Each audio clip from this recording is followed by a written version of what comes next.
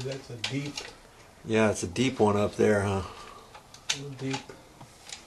You got a small tip on there, right? Yeah, we got it cut small, so we want to try to fill this void in this gap here where the window didn't meet the sill at the top there, or at the top of the rock.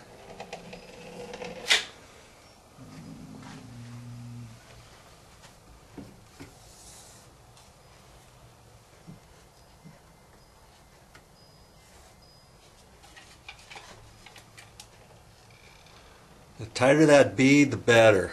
Right. Man, we got a little gap, more so. The gap varies here, so you have to put it on and wipe it down here. It looks better than it was. And depending how much caulking you have to put on there, I mean, Yeah. You might decide that when you get all done, if you're not happy with it, you could cut in that edge You cut in the right edge down to the window. or on the drywall, exactly. You know, if you want to do that, or take your damp rag, Mhm. wipe off any excess you happen to see, That's right. hmm you know, or damp sponge, whatever. Yeah, you got. exactly. Yeah, yeah. That's that's one thing. You can have a couple rags with you and get it cleaned off. Paper towel. Get the excess off. I think it's uh, looking better. Why not?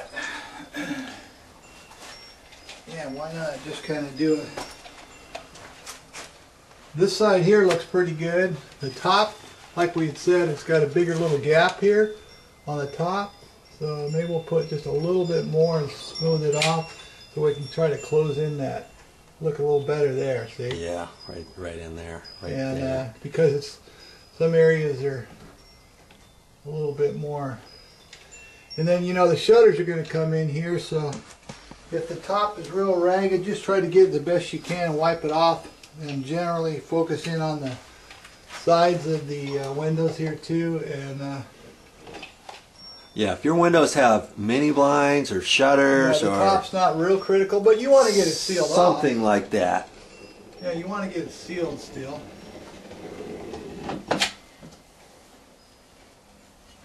he's got a little paper towel there. He wipes off the excess, and I see you wipe your finger. You kind of lick your finger too. Well, yeah, just get it Damp wet. it- you Yeah, just it's probably- damp it a little. Yeah, yeah. It's probably not a good practice to lick it because I, I've done that. Yeah, yeah, I do it a few you know, times. You start tasting caulking after a while. You Yeah. you want another one of them cookies. so anyway, It will be.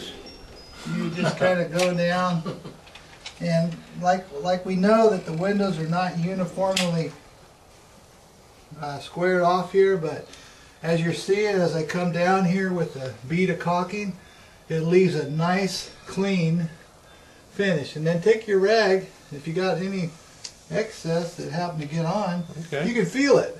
Yeah. And your hand, your finger will glide right along the edge here. And another another process, that, another solution, they make a colored caulking like a bone, an antique, and sometimes people use that and you don't have to touch up the paint if there's a gap or something.